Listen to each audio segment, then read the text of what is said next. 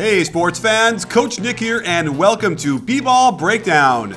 We've got an exciting new segment, folks. There's a brand new league in Europe that launched this year called the Basketball Champions League. Teams from some of the top European leagues in countries like France, Germany, Italy, and Israel must qualify by being the best teams in their national leagues, creating a truly European club competition with 30 countries represented. Each week, I'll spotlight highlights from their game of the week so you can get a taste of this exciting brand of basketball. Today, we've got Strasbourg versus Avellino, and let's pick it up midway through the first quarter. Joe Ragland dances and draws the help, enabling Adonis Thomas to attack in the middle. A big no no, folks, as the defense is compromised. An easy kick to Cusin for the slam.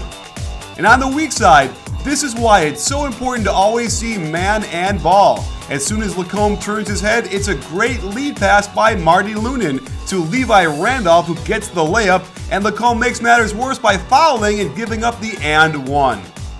It's Strasbourg's turn to get into the action with a nice pick and roll, and watch the secondary play. They want to set a screen on the ball screener's man. This takes enough of his focus so he's not in position to contain the ball handler, and it's an easy layup for AJ Slaughter into the third, and here's the value of a great screen. Both defenders go to the cutter, this forces the corner to rotate, and the nice kick out to Leunen, who sets and fires for the three ball. Strasbourg comes back with an inside ball screen for Pape Sai, and here's why we preach no middle defense. There's no help on the backside, and Jaite gets a free lane to the cup and the and one. More good spacing by Strasbourg on the pick and roll as it forces Leunen to guard two men, the roll man and his own man on the baseline. Easy decision for Slaughter, and Erik Murphy nails the little baseline jumper.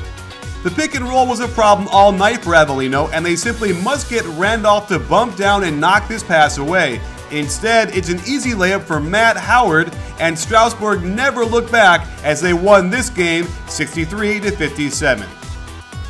Stay tuned next week as we'll break down even more highlights from some of the most exciting basketball Europe has to offer the Basketball Champions League.